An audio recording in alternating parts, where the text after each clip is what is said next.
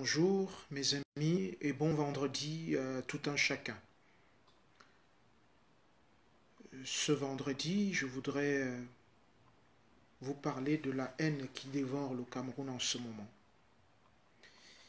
Il n'est pas toujours évident, comme le dit, euh, comme le disait un jour le Daïdama, euh, il n'est pas toujours évident d'expliquer pourquoi les gens agissent comme ils agissent. Souvent, on s'aperçoit qu'il n'existe pas d'explication, d'explication simple. Si nous devions examiner euh, en détail la vie de chaque individu, il serait euh, très ardu de comprendre ce qui s'y passe, de saisir exactement ce qui a lieu. L'esprit humain, à ce titre-là, est euh, très complexe.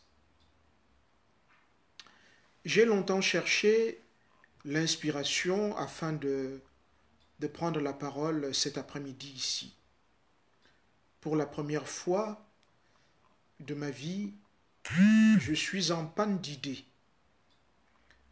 Je vis euh, ce que certains appellent l'angoisse face à la violence et à l'indifférence qui l'accompagne. Oui, l'angoisse des images qui viennent de tout le pays. Pas une seule région, pas deux, mais de tout le pays, même si certaines sont plus violentes que d'autres. Alors, il y a en moi un mélange de frissons, d'effroi et même de fascination qui me transperce et me paralyse.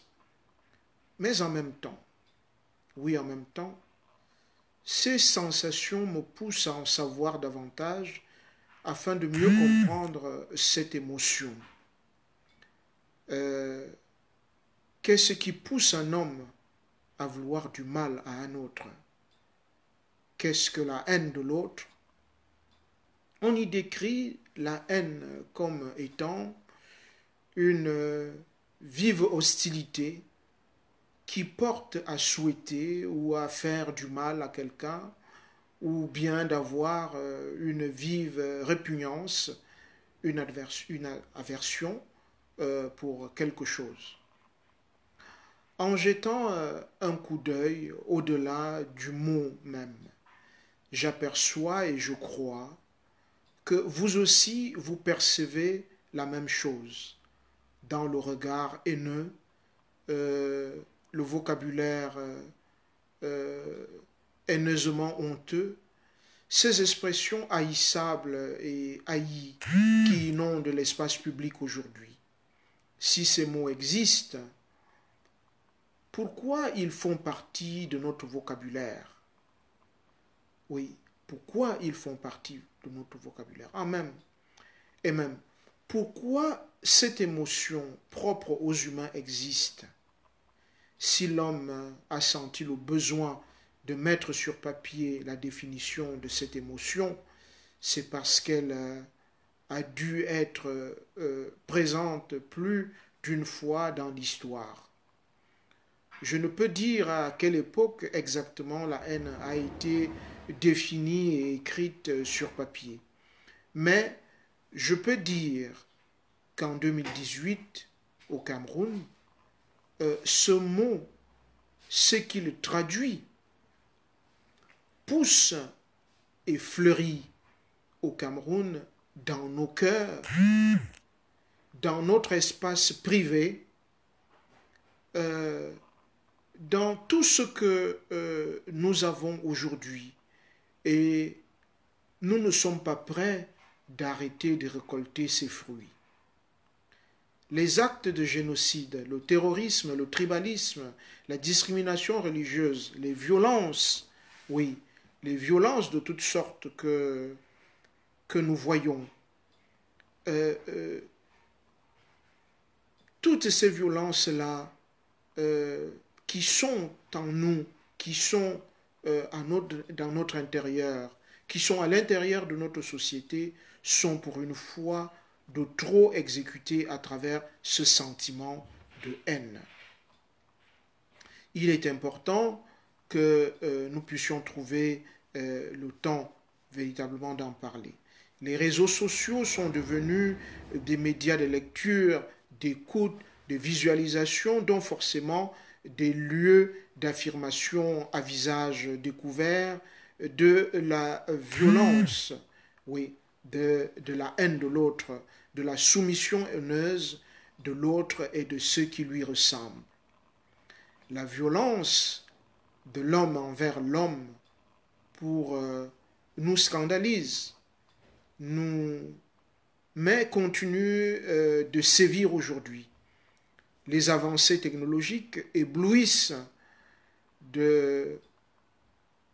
Euh, oui, les, avancées technologiques de notre temps, euh, elles, sont, elles sont éblouissantes, mais en même temps, parallèlement, elles nous renvoient à la sauvagerie des temps sombres les horreurs inimaginables de la guerre et de, toute haine gratuite des groupes ethniques, euh, religieux et politiques.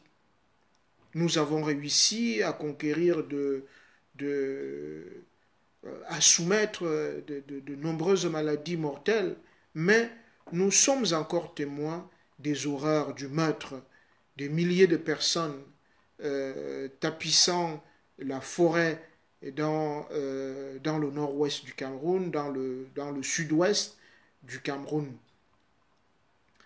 Je n'ai pas oublié, euh, moi, pour ma part, cette odeur de chair humaine sur le pont vert à Marois. Ces morceaux de chair humaine qu'observait un enfant, les yeux grands ouverts, oui, à côté de moi. Ce sont des villageois innocents, pris entre deux feux, euh, peut-être dans des revendications qui ne sont pas les leurs. Mais qu'est-ce que nous faisons face à tout cela? Il est important que nous puissions véritablement nous poser la question de savoir pourquoi notre société est englué dans la haine. Le Cameroun est un et indivisible. C'est cela la réalité de l'histoire. Par le passé, nous avions déjà perdu une partie de notre territoire. Nous avons payé le prix de l'esclavage, de la colonisation. Nous avons euh, connu euh, l'âpreté et la désillusion des indépendances nous sommes capables de dire que nous ne voulons plus que le sang des Camerounais coule inutilement. Mais pourtant, la haine, oui, elle existe. Mais pourquoi? D'où vient-elle?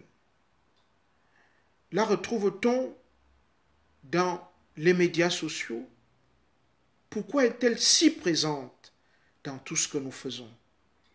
Et pouvons-nous la contrôler? Voilà les grandes questions qui se posent aujourd'hui à la croisée des chemins dans notre pays. La haine existe en tout être humain, il me semble.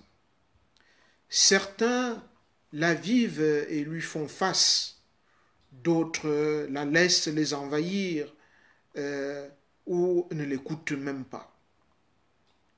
On la retrouve sous plusieurs formes selon les différents champs d'analyse, haine de soi, haine de l'autre, haine des autres, etc. etc. J'essaie pour ma part de comprendre ce que euh, ce qu'elle est par l'entremise euh, aujourd'hui de la sociologie et de la psychanalyse. Une pulsion qui peut devenir euh, pathologique et ensuite se répandre comme une traînée de poudre dans l'ensemble du territoire. En général, pour les psychanalystes, la haine est grosso modo une pulsion comme l'amour en est une. Toutefois, il ne faut pas se méprendre. La haine n'est pas une réaction à l'amour. Elles sont deux pulsions totalement distinctes euh, l'une de l'autre. Elles sont régulées différemment par l'appareil euh, psychique et même quand elles s'expriment euh, dans la société, elles sont aussi régulées de manière très différente. Personne ne vous reprochera, par exemple, jamais en société, d'être heureux, d'être amoureux, alors que tout le monde s'étonnera de vous voir haineux, violent. Voilà. C'est dire que l'appareil ou le système euh, euh, psychique euh, tente de trouver des solutions d'évacuation à, toutes ces pulsions quand elles sont haineuses, alors que la société, l'appareil psychique absorbe ce qu'il y a de gai, de joyeux dans l'être humain. Dans ce sens, la genèse de la haine est différente selon l'expérience propre de chaque individu. Elle vient du milieu familial, qui est la base de notre développement psychique. C'est là que tout se met en place. Notre premier désir, celui que les psychanalyses nomment euh, euh, le complexe d'Édipe, par exemple. Notre premier refus, euh, ce que la psychanalyse appelle la castration, notre premier rapport à l'autre, etc., etc. Ainsi, les, les psychanalystes diront qu'il faut euh, retourner au début de la vie, au début de sa vie, dans euh, le milieu familial de l'individu pour expliquer euh, les différentes pulsions de haine qui viennent de soi.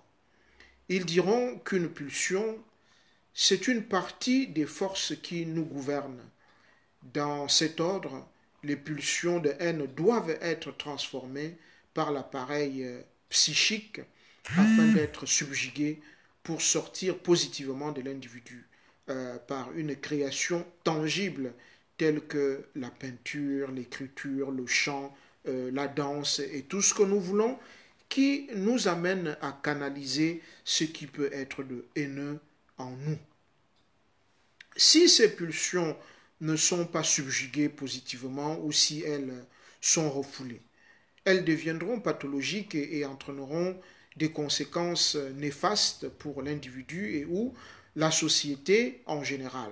C'est un peu ce à quoi euh, nous assistons aujourd'hui, parce que rien ne peut expliquer que euh, les Camerounais euh, soient devenus du jour au lendemain des, êtres de haine ou qui ne transpirent, qui ne respirent que, que la haine. Voilà. Euh, je pense qu'il faudrait que nous, puissions continuer à parler de, cette haine qui s'est emparée véritablement de, notre espace euh, public. Par exemple, je, regarde euh, les réactions de nos compatriotes sur la toile quand il y a des morts dans le euh, nord ou, euh, ou, même dans la ville de tous les jours. Quand on attaque euh, un malfrat, on dit, bon voilà, il a tenté de, de dérober une moto, on l'attrape et on le brûle. Et sur la toile, les gens viennent, ils applaudissent, ils fleurissent, ils estiment que c'est normal de, tuer, de tuer impunément, de, donner la mort, même si on se rend compte quand même que la vie est sacrée, que ce n'est pas nous qui la donnons, mais on s'arroge le droit de, de la supprimer. Le gouvernement camerounais, euh, il y a 24 heures, a décidé de créer euh, un plan d'urgence euh, en mettant sur un fonds, en mettant sur pied un fonds de, 13, 13 à 15 milliards de francs CFA pour venir en aide aux populations du, du nord-ouest et du sud-ouest. C'est au niveau du vocabulaire employé, euh, c'est une lourde erreur. Parce que l'État a le devoir de construire le nous commun. C'est à l'État de mettre à la disposition des uns et des autres, à la disposition de la population, les moyens de se constituer en citoyens. Donc euh, l'État ne pose pas à l'intérieur de son propre pays des actes humanitaires. C'est-à-dire que l'État ne construit pas une école à titre humanitaire. L'État ne soigne pas à titre humanitaire parce que l'État gère les biens qui reviennent à toute la collectivité. Donc, contrairement à ce que euh, l'on a pu lire sur ce plan et que beaucoup saluent, ça montre une fois de plus que l'on n'a pas pris toute la mesure de ce, du drame de haine que nous sommes en train de traverser en ce moment au Cameroun. En réalité, l'État doit chaque fois, chaque jour, chaque fois que besoin se fait sentir, apporter des solutions aux problèmes qui se posent à sa population. Et les solutions que l'État apporte ne doivent jamais être perçues, présentées, vendues comme étant des actes humanitaires. Il y a, quand il y a par exemple une catastrophe, des pays peuvent envoyer de l'aide humanitaire. Des associations comme la Croix-Rouge, comme l'Oxfam, comme toutes les associations que vous connaissez, peuvent agir à titre humanitaire, mais pas l'État. Parce que c'est à l'État d'apporter des solutions aux problèmes qui se posent à la population. Et quand l'État pose un acte à titre humanitaire, alors ça signifie que l'État lui-même s'est inscrit dans ce que j'appelle la sociologie de la haine. Et quand l'État s'inscrit dans la sociologie de la haine, en fait, il rassemble en lui les haines individuelles, les haines de chacune des populations, de chaque individu dans la société, pour finalement créer une dislocation de l'État dont il est lui-même garant. C'est-à-dire, c'est comme quand vous prenez votre propre personne. Vous êtes d'abord garant de ce que vous êtes, de ce que vous représentez. Et donc, si l'on additionne les haines que vous avez vis-à-vis de vous-même, mais aussi vis-à-vis -vis de l'autre, et que l'État rassemble tout cela, ce n'est plus un État. Ça ne peut plus être un État. L'État doit toujours être au-dessus de ce que pense le peuple. L'État doit toujours anticiper ce que pense le peuple. L'État doit canaliser, canaliser les haines individuelles. Les haines individuelles que les uns ont vis-à-vis d'eux-mêmes, mais aussi vis-à-vis de leurs voisins, vis-à-vis de leur entourage, vis-à-vis de l'autre. C'est à l'État de mettre sur pied des structures de gestion. C'est pour cela que j'ai dit hier par exemple que finalement, quand nous regardons ce qui se passe dans notre pays, il est normal de, de penser que ceux qui essayent de rétablir de l'ordre dans ce qui se passe dans notre pays sont beaucoup plus dangereux que ceux qui attaquent les forces de l'ordre. Pourquoi? Je vais m'expliquer là-dessus. En fait, l'État est celui qui jouit du monopole de la violence dite légale, légitime, parce que l'État est cette structure à qui nous avons confié de pouvoir exercer de la violence, par exemple, sur la route, pour euh, éviter, si l'État trouve deux personnes en train de se battre, l'État a le devoir de les séparer, quitte à mettre un, euh, une de ces personnes en prison. Donc c'est l'État, en s'appuyant sur des analyses d'un certain nombre de, de, sociologues, c'est à l'État justement de réguler la haine que certains individus ont en eux. Qu'est-ce qui explique donc finalement que face à ce que nous vivons aujourd'hui, les uns et les autres affichent une telle indifférence, affichent une telle haine vis-à-vis de ceux avec qui ils sont appelés à vivre finalement. C'est parce que l'État n'a pas su réguler l'addition des haines individuelles pour installer justement à la place de la haine, qui est quelque chose d'inhérent à la personne que nous sommes, pour installer l'entente entre les individus. C'est pour cela que les réseaux sociaux sont devenus des, des, moyens d'expression de tous, de, tous les ressentiments que nous avons en nous aujourd'hui. Je vous laisse sur ce en vous conseillant de, de prendre du temps pour écouter cet échange de ce vendredi pour que vous puissiez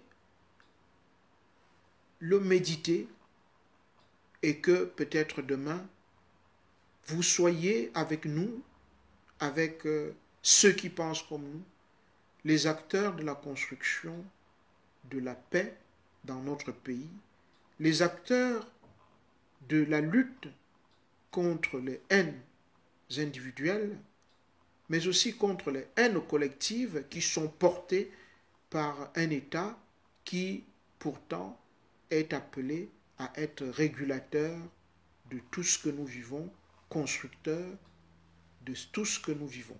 Voilà.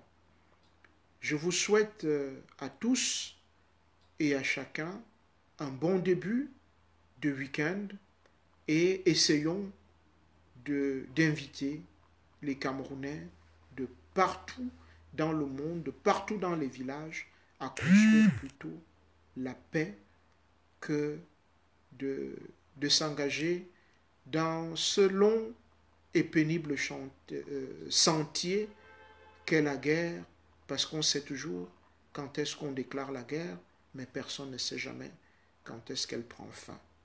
Voilà, bon vendredi à vous. Merci.